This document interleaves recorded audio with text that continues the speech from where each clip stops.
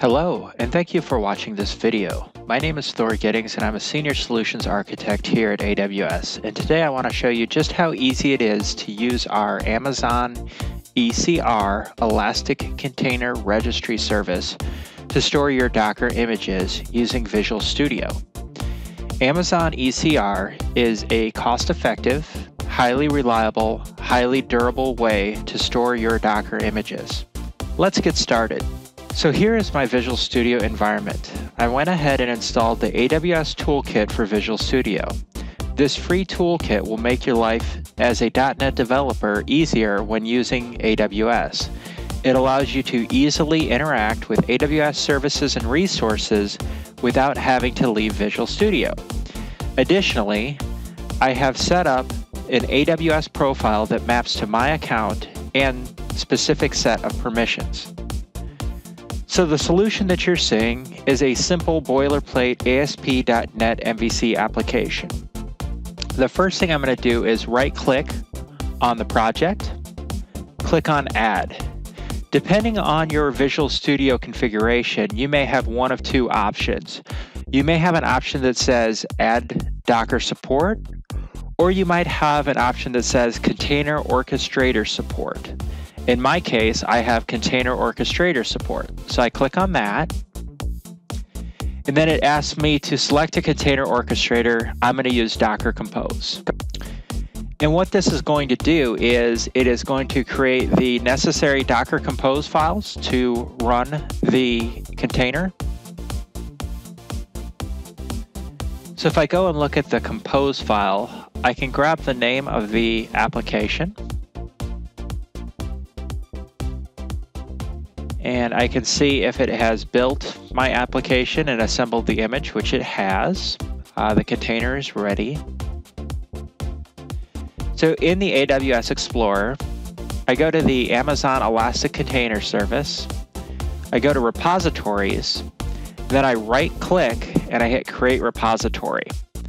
I'm going to give it the same name as the service in the Docker Compose file, which is simple MVC app.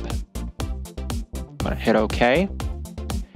And now you can see I have that as a repository. If I double click on it, I get this window. Inside the configuration window, I can go ahead and click on the View Push Commands link. And I'm using the command line interface. So I have AWS CLI installed on my machine and configured for the same profile. So I'm going to copy this first command. I'm going to go into my command prompt. I'm going to paste in that command. And this is going to return back a username, a password, and the URL for the repository. So first of all, I'm going to copy the password. You can see that the username is AWS. So if I go into the project, select the project, right click on it and hit publish.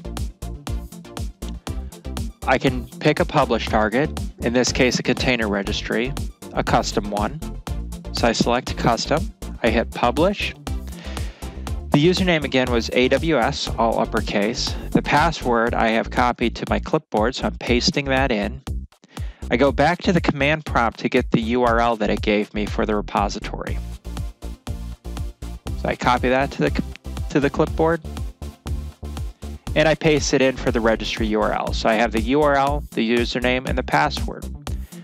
I go ahead and hit save. And what this is going to do, it's going to build my code, it's going to assemble the image, and then it'll start uploading it into Amazon ECR for me. So you can see it's going to push up all the different layers that my image needs up to Amazon ECR. And depending on your network connection speed, this could take anywhere from you know a few seconds up to several minutes uh, if you have very slow network. So we'll just give that a second to finish.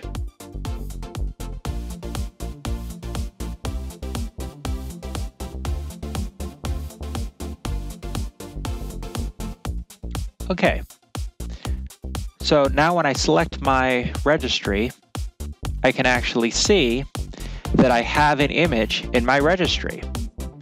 And it's really just that simple to get an image off of your local machine and up into the Amazon ECR Elastic Container Registry service with Visual Studio. I hope you found this video informative and learned something. Thanks for watching.